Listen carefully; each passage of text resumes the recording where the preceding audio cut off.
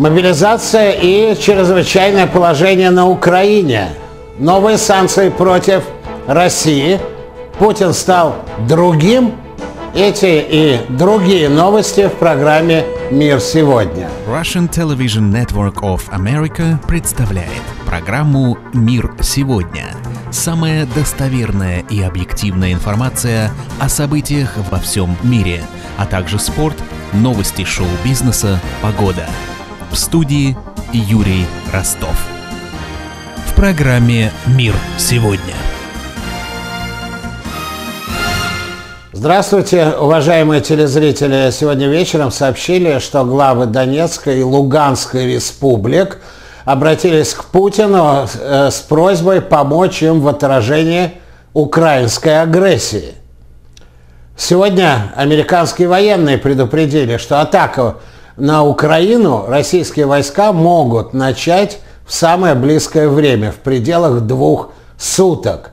Направлением удара, скорее всего, станет Харьков, город недалеко от границы и на минимальном расстоянии от Донбасса. Его оккупация означала бы стратегический контроль над территориями, прилегающими к районам сепаратистов. Было также несколько подтверждений перехода российских войск через границу в Донбасские республики. Сегодня Вашингтон объявил санкции против ближайшего окружения Путина, в частности, против министра обороны Шойгу, против начальника кадров президентского аппарата, против главы англо- англоязычной пропагандистской телестанции Russia Today, Маргариты Симонян против пресс-секретаря МИДа Маргариты Захаровой против нескольких детей – российской политической элиты и других. Также под санкциями теперь и главная российская компания, ответственная за газопровод «Северный поток-2». Сегодня Украина ввела чрезвычайное положение, статус чрезвычайного положения в связи с угрозой российской интервенции дает чрезвычайные права и центральному правительству и местным властям по привлечению ресурсов и подготовке к обороне. Оппозиционные партии требовали от Зеленского введения чрезвычайного положения уже несколько дней тому назад, но он тогда отказывался это даже обсуждать. Из Украины в последние недели рекордными темпами уходят западный частный капитал, еще в больших масштабах вывозят деньги легально и нелегально местные предприниматели. Имеет место массовый выезд из республики тех, кто может себе это позволить, включая и государственных чиновников. Зеленский опасался, что чрезвычайное положение может ускорить эти процессы и пытался откладывать его до последней возможности. Зеленский также объявил о мобилизации военных резервистов, заявил, что правительство сделает все возможное для поднятия боеспособности украинской армии и ее готовности к любым изменениям оперативной ситуации. Также объявлено о мерах так называемого экономического патриотизма, включающих сокращение налогов и программу стимулов производителям и банкам. Украина с осени теряет по оценкам в районе 3 миллиардов долларов каждый месяц в результате нарастающего кризиса и вывода капитала. Помимо всего прочего, международные авиалинии могут скоро прекратить полеты в Киев и в другие украинские города. Украинский МИД призвал всех украинцев на территории России как можно быстрее оттуда выезжать.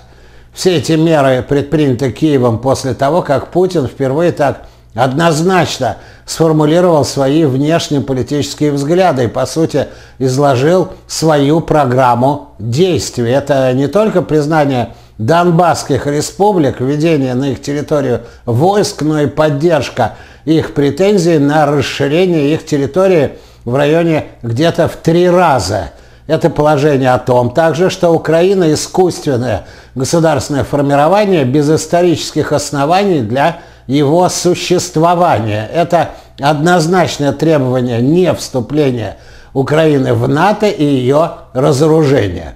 В последние часы Австралия, Канада, Япония объявили, что присоединяются к санкциям против России. До этого санкции, кроме США, ввели также Великобритания и Европейский Союз. Австралия объявила об ограничении на деятельность некоторых российских банков и объявила персонами нон-грата восьмерых членов Российского Совета национальной безопасности, призывавших к признанию независимости сепаратистов. Канада предприняла шаги против российских банков и ввела запрет на операции с ценными бумагами российского государства. Похожие меры объявила и Япония. Все государства, присоединившиеся к санкциям, запрещают и какие-либо экономические, финансовые, другие связи с так называемыми Донецкой и Луганской республиками. Согласно мнению подавляющего большинства экспертов, нынешние санкции против России, тем не менее, не окажут достаточного воздействия на администрацию Путина, так же, как, скорее всего, и угроза более полных санкций в будущем. После аннексии Крыма в 2014 году и тогдашних ограничительных мер э, Запада Россия предприняла очень существенные шаги к повышению независимости своей экономики. В первую очередь был создан большой резерв золота и наличных, также снижена и до этого невысокая зависимость от зарубежных займов. Больше 90% правительственных займов размещены сейчас внутри России. К тому же цены на нефть в настоящее время приближаются к 100 долларам за баррель. Цена очень высокая, и развитие кризиса этому только способствует. Европа уже несет потери от сверхвысоких цен на нефть и газ. Это усиливает позицию Путина. Согласно части американских республиканцев, Байдену было необходимо, как заявил, например, сенатор Рубио, главный акцент делать на удар по нефтяному сектору России. То есть не сдерживать развитие энергетического сектора США, но создать для него максимально благоприятные условия, добиться изобилия на международной арене нефти и газа, резкого падения цен, затем ввести в действие самое сильное оружие против России, прекратив или очень в существенной степени ограничив ее возможность продажи энергоносителей. Президент Франции Макрон, который хоть и бесполезно, но очень много общался и встречался с Путиным в последнее время, заявил, что поведение, состояние Путина в последние дни резко изменилось. Путин в прошлый понедельник, согласно Макрону, несколько раз терял нить беседы, повторялся, казался рассеянным и поглощенным какими-то своими внутренними картинами, что на него совершенно не похоже. И в то же время у Путина в понедельник был и взрыв эмоций, достаточно неожиданной энергии, когда он произнес речь о незаконности существования Украины, признал Донбасские республики, заявил о праве России вводить туда войска. На интернете сейчас циркулирует теория о том, что Путин мог переболеть коронавирусом, не объявляя об этом, в, сравнительно тяжелой форме. У него были продолжительные периоды, когда он пропадал из света рампы, а вирус иногда оказывает воздействие на психическое состояние, так же как и сама необходимость изоляции, меньшего общения, всевозможные трудности, связанные с вирусом, оказывают на людей любого уровня и положения тоже существенное психологическое влияние. В Америке были взрывы расовых претензий с грабежами и поджогами. В Канаде водители грузовиков парализовали почти всю страну.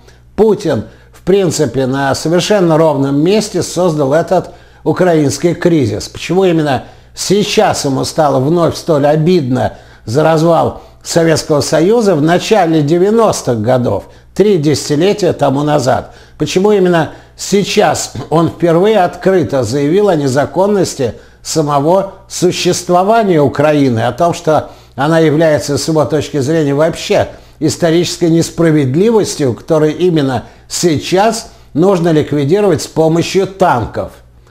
Сегодня российский МИД, заявив о желании защитить жизни сотрудников своего посольства и консульств, объявил об эвакуации их из Украины. Украинский МИД отозвал из Москвы своего временного поверенного еще позавчера и тогда же официально предложил как бы Зеленскому разорвать дипотношения с Россией. Зеленский заявил, что в тот же день, в понедельник, примет то или иное решение по этому вопросу, но так и не принял. Как следовало ожидать, средства массовой информации России оказали большое воздействие на граждан страны, причем сама создаваемая там атмосфера воздействует отнюдь не только на малообразованных. Согласно сегодняшнему опросу, скорее поддерживает решение Путина о признании независимости Донбасса от Украины, чем не поддерживает 73% россиян. Сегодня, помимо всего прочего, 23 февраля, День Советской Армии и Военно-Морского флота – в связи с этим праздником, изменившим сейчас название, Путин заявил о начале боевого дежурства некоего мощнейшего оружия, равного которому нет во всем мире. Путин обещал и дальше развивать новые системы вооружений, включая гиперзвуковые, а также основанные на новых физических принципах. Дальше в нашей программе через некоторое время о том, что покупка дома – теперь обходится, по крайней мере, на 200 долларов в месяц больше, чем 3 месяца тому назад. Оставайтесь с нами.